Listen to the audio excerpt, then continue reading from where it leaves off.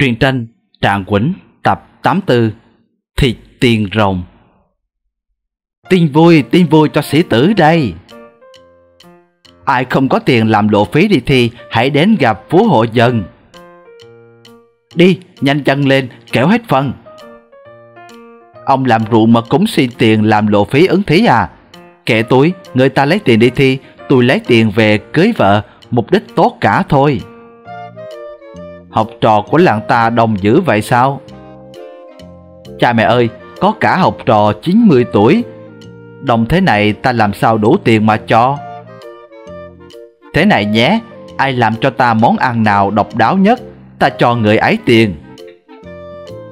Vậy chỉ có một người được cho tiền thôi à Đúng, Làm phước cho một người là ta đủ rác ruột rồi, Cho nhiều ta đứt ruột chết sao? Thế mà cũng cho người đi rào Tưởng hào phóng lắm. Bá hộ dần kêu từ muôn thuở, Hôm nay cho tiền một người đã là chuyện lạ rồi, Đòi hỏi thêm không được đâu. Ổng bị làm bắt buộc đó. Quỳnh ơi, giúp anh với, Anh không có tiền đi thi, Mà cũng không có tài nấu nướng. Không biết nấu ăn, Sau này làm sao nấu cơm cho phu nhân? Vợ chồng tao ăn cơm chợ, Khỏi nấu. Thôi đừng đùa nữa Mày có cách gì giúp anh đoạt được tiền thưởng Của bá hội dân không? Anh đưa tiền đây, Em đi chợ nấu ăn cho. Đập tàu bảy búa cũng không có đồng nào, Mày biết anh nghèo mà còn móc họng. Nói đùa thôi chứ em cũng biết anh nghèo nhưng hiếu học, Em sẽ giúp anh. Chỉ có còn cá chép này để kho thôi à Thế sao gọi là món ăn độc đáo? Mọi thứ ngon, dở, đẹp, xấu đều là do ý của con người. Nói nó ngon thì ngon, nói nó dở thì nó dở. Từ nó không biết là nó ngon hay nó dở. Triết lý cuồng. Anh vẽ cho em một con rồng to to một chút. Vẽ xong rồi à Anh cắt hình con rồng ra giùm em. Làm như tao là người hầu của mày Sai mãi. Thưa ông chủ xong rồi đây ạ. À. Để lên đây. Lấy rào phủ kiến con cá lại. Đẹp chưa? Giống con rồng, Kẹt giữa rừng cây chưa? Rồng kẹt giữa rừng cây là tàn đời, Hay nổi gì mà khen? Anh ở nhà, đợi em mang tiền về. Chú làm món gì thế? Bánh dày, bánh chưng. Bác làm món gì vậy? Bánh chưng, bánh dày. Anh làm bánh dày, bánh chưng. Trời, ai cũng làm bánh dày bánh chưng là sao? Thì theo truyện Lan Liêu ấy mà Ngày xưa Lan Liêu dăng bánh dày bánh chưng lên cho vua Hùng Thì được thưởng đấy ạ à. Mấy ông ơi, vua Hùng chưa từng ăn bánh dày bánh chưng Nên thấy nó độc đáo còn ta, ngày nào vợ ta cũng bắt ăn thứ này Sáng bánh dày, chiều bánh chưng Sáng bánh chưng, chiều bánh dày Ta ngán bánh này tới ốc rồi Mang về hết đi Lang liêu bị vua hùng chê rồi. Mấy ông là lang thang thì có, Dễ ạt mà đòi làm lang liêu. Còn ông lang luồng này sao không về? Còn có món ăn độc đáo xin dâng lên đức vua. Ờ món này trông lạ lạ, Gọi là gì vậy? Tàu đây là món thịt tiền rồng. Thịt tiền rồng là thế nào? Con chỉ được phép giải thích sau khi ông ăn, Giải thích trước, rồng bay mất hết ăn. Đưa cho ta ăn thử. Ý không được đâu ạ. À. Thịt tiền rồng không phải tầm thường như các loại món thức ăn khác. Muốn ăn nó phải có lễ đàng hoàng mới được. Ăn mà cũng phải làm lễ. Thì con đã bảo là thịt rồng mà. Con rồng là một con vật linh thiêng. Đâu phải muốn ăn là ăn. Vậy làm lễ thế nào? Ông cho người lập hương án trong phòng để làm lễ đi ạ. à. Làm theo lời lan luôn Mọi thứ xong rồi đó, Làm lễ lại lại đi, Tao thèm lắm rồi. Ông đọc sớ này con gõ mỏ cho. Ăn mà cũng phải đọc sớ à. Thì con đã bảo rồng rất linh thiêng, Muốn ăn thịt rồng phải xin phép. Mỗi khi con gõ mỏ, Ông phải cúi xuống lại. Bắt đầu, đọc. Tôi tên là Dần, Tự là cột, Biệt danh là hổ. Ai viết sớ kỳ vậy? Đọc tiếp, Chưa ăn mà bắt đọc mãi. Hôm nay là ngày dần, tháng dần, năm dần, Ai viết sớ kỳ vậy? Lại nữa đầu lưng muốn chết. Con xin phép vua rồng cho con được ăn thịt tiền rồng. Đừng gõ nữa, tao mệt lắm rồi. Ráng đi ông, Chỉ còn một xíu nữa là ông được thưởng thức Món ăn mà vua cũng không có. Con xin thề, Dù thịt rồng có ra làm sao Thì con cũng phải khen là ngon, Không được chê. Nếu con chê thì sẽ bị á khẩu. Chấm hết. Cốc cốc cốc Phi phò phi phò. Lại chi mà vô hậu rứa. Ông đã thề trước bàn lễ, Xin ông hãy nhớ lấy. Mời ông ăn. Ấy chết con chưa kịp nói con rồng đó bằng giấy thịt tiền rồng ở phía dưới đám rau ấy. Ờ cá chép chứ có phải là thịt tiền rồng gì đâu. Mày xạo, mày chết với tao. Ông ơi, cá chép là tiền rồng đó à người ta nói cá chép hóa rồng, trước khi là rồng thì nó là cá chép. Tiền rồng là trước khi làm rồng, cá chép là tiền thân của con rồng. Ông bảo con xạo là sao? Mày lý luận nghe xuôi tai lắm, Tiền rồng đúng là cá chép. Nhưng tao vẫn không chịu. Đây là món ăn độc đáo. Đây là món xạo. Mày dám lừa tao thì phải chết. Rầm. Món gì mà ăn đến sụp nhà vậy? Hồi nãy ông có thề rằng Dù thịt tiền rồng như thế nào cũng không được che mà. Coi chừng ông bị á khẩu đấy. Tao không tin chuyện vớ vẩn đó. Xuống. Thất bại rồi, ông này không dễ mắc mưu như các ông khác. Làm sao đây? Mày biết tao có biệt danh là dần thông thái không? Chưa ai lừa được tao cả. Một cơ hội để lật ngược thế cờ. Ông ơi, chưa ai lừa được ông, nhưng có một đứa con nít lừa được ông đó. Đứa nào? Con, mày lừa được tao hồi nào?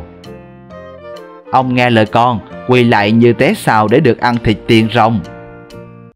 Cấm, tao cấm mày nói chuyện này ra với bất cứ ai, rõ chưa? Chưa rõ ạ. À. Nhỏ tao năn nỉ đó, đừng nói chuyện này ra.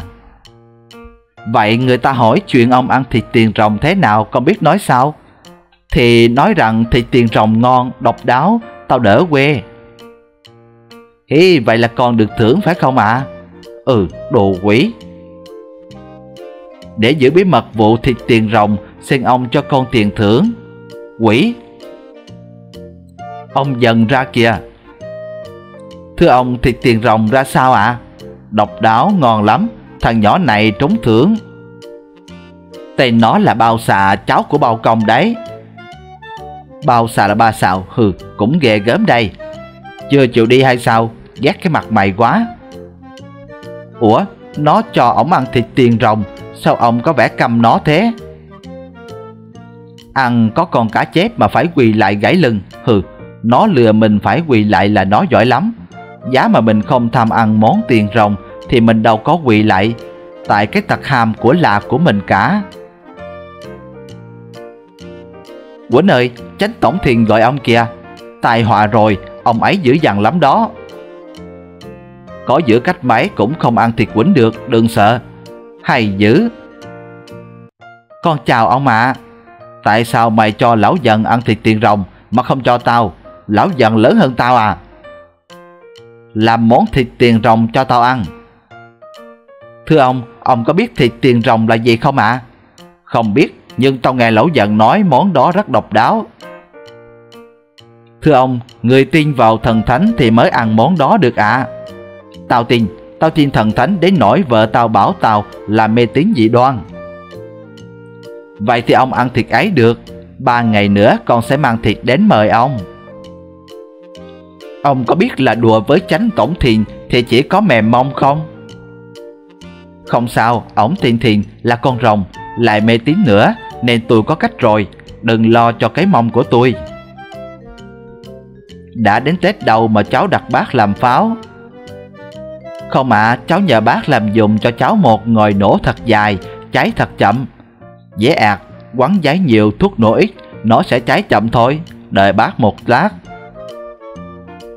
Đây, Đoạn ngồi nổ này cháy hết trong khoảng thời gian ăn xong một quả trứng.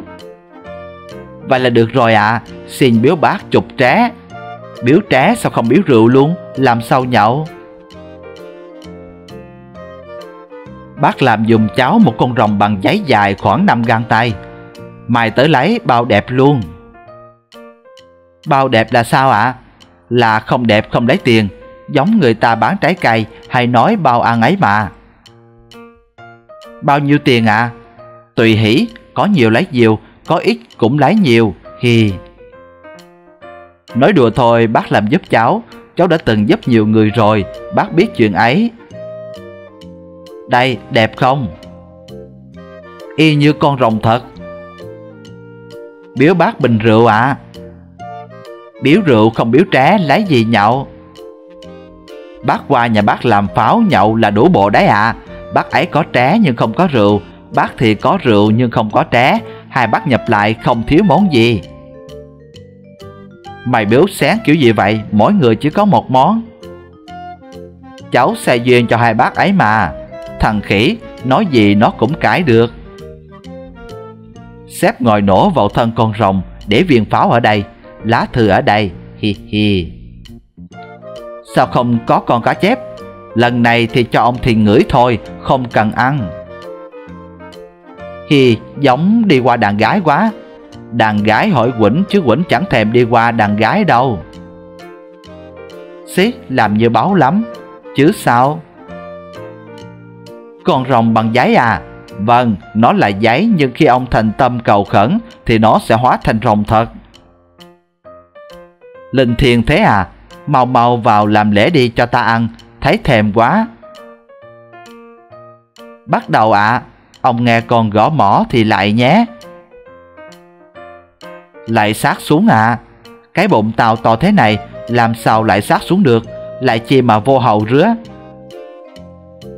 Người thì ốm, bụng thì bự, quái lạ, thế mà vẫn tham ăn, chưa cái tội tham ăn nè. Cóc, cóc, cóc lại phờ cả người, món ăn chi mà vô hậu rứa. Bây giờ ông đọc sớ, đọc xong sẽ ăn.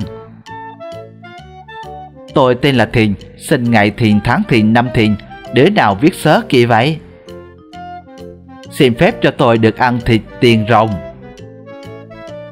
Tôi cầm đoàn sẽ không nói với ai về thịt rồng, nếu tôi nói thì chạy. Âm. Um. Ôi trời, cái áo lụa tao mới may món ăn chi mà vô hậu rứa.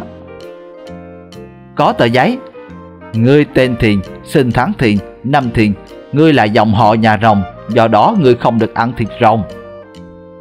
Rồi, ông không được vua rồng cho phép ăn thịt rồng rồi, không phải lỗi tại con. Hít, không được ăn thịt rồng mà còn bị rách cái áo mới may. Ông đừng buồn, dù sao thì ông cũng được vua rồng công nhận, ông thuộc dòng họ nhà rồng mà. Ờ ha, thế cũng vinh dự lắm rồi. Người gì mà mê tín quá chừng, chuyện thế mà cũng tin, mấy người mê tín dễ bị gạt lắm. Vái trợ cho ổng đừng quảng cáo món thịt tiền rồng này cho ai nữa. Thêm một người nữa đòi ăn thịt này, Quỉnh hết cách đối phó. Cần một đứa trẻ để chơi với công tử hợi, mỗi ngày được trả một đồng, được lãnh tiền lương trước khi làm. Hấp dẫn à, để tao vào chơi với đó, kiếm một đồng. Một đồng đây, còn tao bảo làm gì, chơi gì thì mày phải làm y như vậy, không được cãi lời. Chào công tử, không được phép cao hơn ta, cúi xuống. Ừ, vậy đó. Tao muốn mày làm ngựa cho tao cưỡi, mau. Hấp. Ít. Ngựa gì yếu xìu vậy, trả tiền lại đây không chơi với mày nữa. Công tử leo lên lại đi, tại lúc nãy em chưa chuẩn bị. Ừ, được rồi đấy. Nhông nhông, chạy nhanh đi. Phì, phì. Cộp, ếch. Ngựa yếu siêu, trả tiền lại cho tao rồi xéo đi. Hừ, khi không bị nó cưỡi lên lưng mà không được đồng nào.